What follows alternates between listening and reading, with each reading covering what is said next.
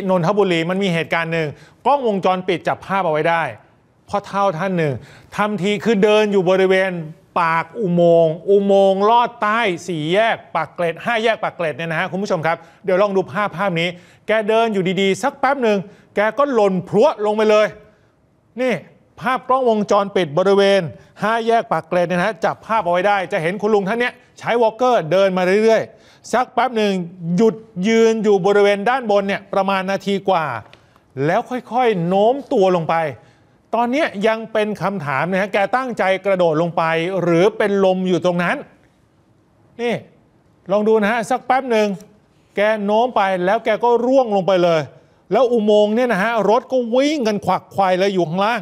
โชคดีอย่างน้อยที่สุดพลเมืองดีเนี่ยพยายามจะเข้าไปช่วย นี่ฮะ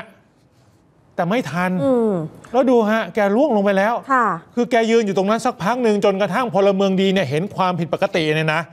เบื้องต้นทราบว่าคนที่ร่วงลงไปชื่อ ลุงวิชัยพันเลิศสกุล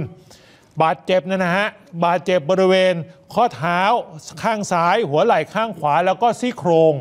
เนี่ยแล้วดูข้างล่างรถวิ่งกันควักไขว่ขนาดนี้ ทางด้านของเจ้าหน้าที่ปอเต็กตึงเองเขาบอกว่าเห็นคุณลุงเนี่ยก่อนที่จะเดินวนไปวนมาเนี่ยนะ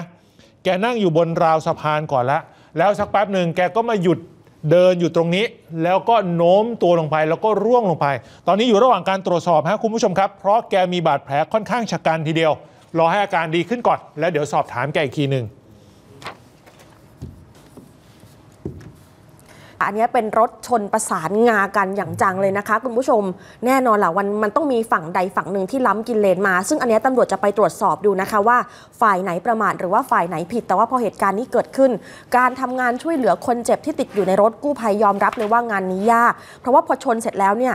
คอนโซลหน้ารถเนี่ยมันอัดติดทับขาของคนที่อยู่ภายในรถนะคะทำให้การช่วยเหลือนั้นเป็นไปอย่างยากลำบากสพพระนครศรีอยุธยาได้รับแจ้งว่ามีอุบัติเหตุ รถกระบะพุ่งชนประสานงากับรถยนต์ บนถนนทางหลวงชนบทสายในก็เลยรีบนำกำลังไปตรวจสอบดูนะคะ ที่เกิดเหตุมันเป็นลักษณะถนนสองเลนสวนกัน คันหนึ่งเป็นรถกระบะอีซูซุสีบรอนเงิน มีคนเจ็บติดอยู่ในรถสองราย ชายหนึ่งหญิงหนึ่งเจ้าหน้าที่ปฐมพยาบาลเบื้องต้น พาส่งรักษา อีกคันหนึงเนี่ยเป็นรถเก่งนิสสันสีน้ำตาลข้างในค่ะ มีคนได้รับบาดเจ็บ 3 คน เป็นผู้ชาย 2 ผู้หญิง 1 เจ้าหน้าที่กู้ภัยต้องใช้เครื่องตัดทาง ตัดตัวรถนะคะ แล้วก็งัดให้มันเปิดช่องว่างตรงบริเวณคอนโซล เพราะว่ากดอัดทับบริเวณขาของคนบาดเจ็บอยู่ตลอด เบื้องต้นพอเอาออกมาได้แล้วก็นำส่งรักษาต่อที่โรงพยาบาลพระนครศรีอยุธยาชาวบ้านตรงนั้นค่ะคุณไพโรธเป็นเจ้าของร้านค้าใกล้กับจุดเกิดเหตุบอกว่า คือตอนนั้นน่ะไม่ได้มีใครอยู่ตรงหน้าบ้าน เพราะว่าอากาศร้อนทุกคนก็ไปนั่งดูทีวี เปิดแอร์อยู่ในบ้าน แต่สักพักหนึ่งได้ยินเสียงดังปัง เสียงดังสนั่นเลย ก็เลยพากันวิ่งออกมาดู โอ้เห็นรถชนกันหน้าร้านจังๆเลย แล้วคนเจ็บติดอยู่ในรถออกมาไม่ได้ ก็เลยโทรประสานกับทางกู้ภัย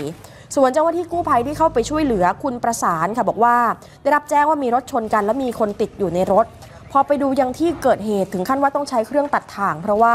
ตัวคอนโซลหน้ารถเนี่ยมันกดทับตัวคนเจ็บอยู่ ก็ช่วยเหลือทั้งหมดออกมาได้ แล้วก็พาส่งโรงพยาบาล ทุกคนอยู่ในความดูแลของแพทย์แล้วฟังเสียงค่ะ เจอคนเจ็บรถกระบะนอนอยู่ตรงนี้สองคนครับ แล้วในรถเก่งสามคนครับ ผู้บาดเจ็บชายหนึ่งคนคอนโซลหน้ากดทับครับรถเก่งอะนะ ใช่ครับ ใช้เครื่องตัดทางออกมา ใช่ครับ แล้วตอนนี้คนเจ็บทั้งหมดเป็นไงบ้างครับตอนนี้ตอนนี้โรงพยาบาลอยู่โรงพยาบาลยุทธยาครับ เจอคนเจ็บส่วนทางตำรวจก็มาดูยังที่เกิดเหตุเหมือนกันนะคะ ทางตำรวจบอกว่าคือลักษณะถนนเนี่ยมันเป็นสองเลนสวนกันพอดีอืมเพราะฉะนั้นมันก็ต้องมีคันใดคันหนึ่งน่ะที่กินเลนแล้วมาอย่างเร็วจนทำให้ชนอีกฝ่ายหนึ่งแต่ว่าตอนเนี้ย คู่กรณีทั้งสองคันเจ็บทั้งคู่ ต้องให้ทั้งสองคันเนี่ยอาการดีขึ้นก่อนนะคะสำหรับคนบาดเจ็บที่มากับรถทั้งสองคัน แล้วก็เดี๋ยวค่อยสอบปากคำหาสาเหตุที่แท้จริงต่อไปว่าจังหวะการเกิดอุบัติเหตุมันเกิดขึ้นได้อย่างไร มันต้องมีฝั่งใดฝั่งหนึ่งในกินเลนอย่างที่กวางบอกค่ะเนาะ